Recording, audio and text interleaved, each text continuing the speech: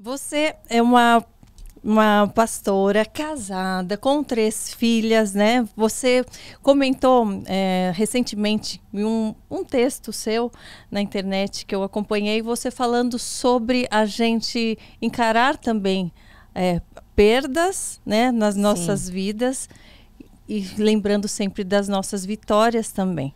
Então, que tudo faz parte de um contexto. E aqui Sim. eu falo isso porque você comentou sobre esses momentos também. E você, eu queria que você também aconselhasse essas as mães, as mulheres, as famílias que passam por uma perda. Você perdeu uma, uma, uma, filha, filha teve que lidar com essa dor, porque é algo que a gente tem que lidar. Mas como foi esse momento e como você consegue é, transmitir com gratidão até isso e todas as vitórias que vieram depois. Sim. É, para quem não conhece a minha história, eu perdi minha primeira filha. Né? Eu fiquei três meses com ela numa UTI de um hospital e, e depois o Senhor a levou. Né? Hoje, graças a Deus, eu tenho umas três filhas lindas e cheias de vida e de saúde.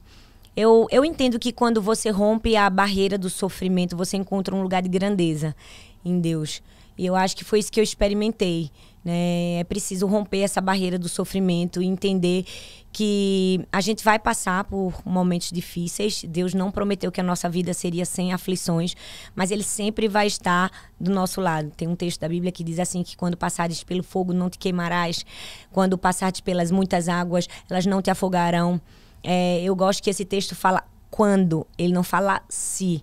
Uhum. Ele não uhum. te dá uma condição. Se você passar, ele está dizendo quando você passar. Com certeza é, que passaremos todos, né? Ele nos dá duas certezas. Que a gente vai passar por situa situações adversas, mas que ele estará conosco. Então, ter esse entendimento da presença de Deus não importa em que situação e em que momento da nossa vida a gente esteja, nos fortalece para romper essa barreira do sofrimento. Realmente é muito difícil, mas eu tive o meu bom amigo, o Espírito Santo, eu tive Deus ao meu lado que me fortaleceu, que me ajudou, né, que esteve comigo não somente durante o processo, mas quando tudo aquilo acabou e eu precisava é, sair, né? E eu falo que esse processo, esse processo de cura é algo que a gente também escolhe. Uhum. Você falou que falar para pessoas que estão enlutadas, né? Pessoas que passam situações difíceis. É, eu sempre falo, abrace a dor da recuperação.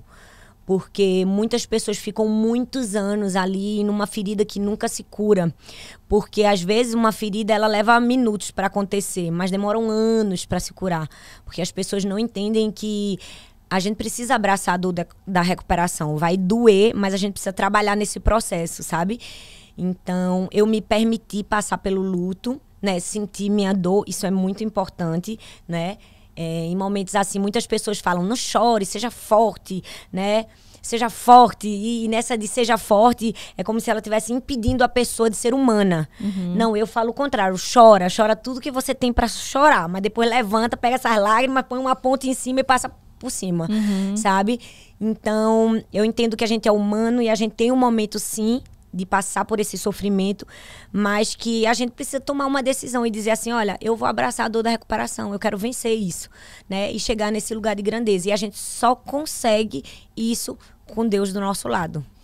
E você, nesse momento e em tantos outros, você teve o apoio do, do seu esposo. Sim. Eu acho que eu queria também você comentar sobre essa importância do elo né, matrimonial, da família. Você é um exemplo de, de, família também, e nos dias de hoje a gente também está em falta uhum. né, de tantas pessoas descartando relacionamentos tão facilmente, né, e não lutando por sua família. E é tão lindo ver a forma que você expõe o seu esposo e o seu amor por ele, mostrando até as fragilidades. Eu vi esses dias você mostrando, olha, ele está emocionado no casamento. E é lindo que a gente vê um, um amor assim entre vocês, que é admirável, que nos inspira.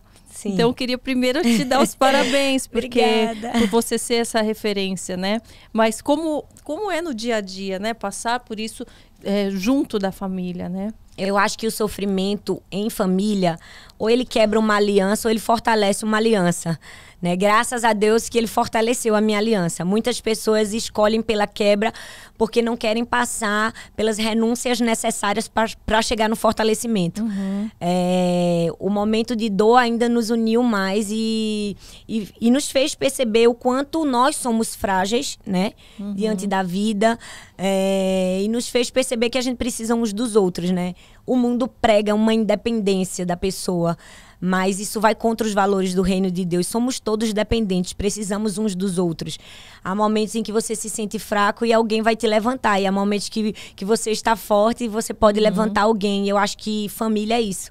É essa parceria, entender que um precisa do outro e estar presente nesses momentos. Eu agradeço muito a Deus porque eu vou fazer 18 anos de casada com Arthur e ele é esse meu parceiro da vida. Ele é aquela pessoa que eu posso contar né, que celebra minhas conquistas, uhum. mas que está comigo nos momentos difíceis, nos mais difíceis que nós enfrentamos.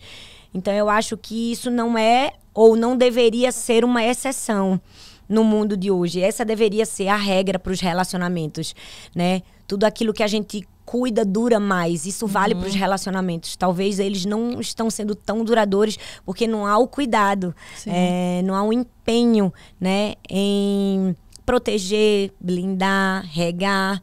E eu acho que essa talvez seja uma chave do nosso, do nosso relacionamento. É entender que a gente cuida um do outro, que a gente está aqui para se ajudar.